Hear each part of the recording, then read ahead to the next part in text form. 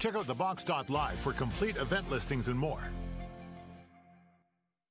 This is Black Hills Fox Sports, sponsored by the Box Event Center.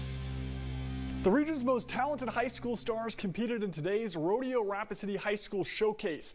The teenagers took part in 10 events with chances to win scholarships, travel funds, and big old trophy buckles. The girls get us started in the breakaway roping with the objective being to rope the calf around its neck in the shortest amount of time. Faith's Tandy Nelson shows us how it's done, earning a time of 12.42. That's including a 10 second penalty for not giving the calf a head start. Next up is Newell's Jalen Went with a time of 4.21 seconds, one of the better times of the afternoon. Finally, it's Miller's Madeline Salinga chasing the calf all over the arena floor before pulling it in. She earns herself a 16.36.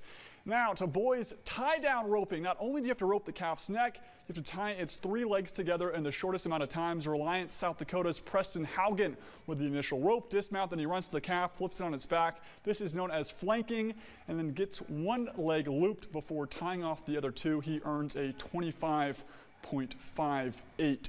West Central High's Aiden Healy has a tough time on his go, but still pulls through. Competitors are given a time limit of 30 seconds to tie the calf. Healy uses all but two and a half with a time of 27.56. To the scoreboard, there were lots of high school basketball games across the state on Saturday, many of which we didn't get to or didn't share over the air. So I want to take a couple minutes to get those scores to you. The Phillip boys basketball team beat Newell 61 to 27. New Underwood won at Harding County 51 to 39.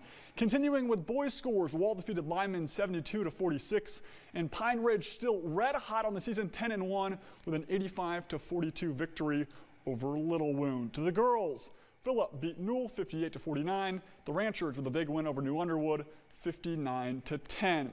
White River won handedly over Gregory 62 to 47.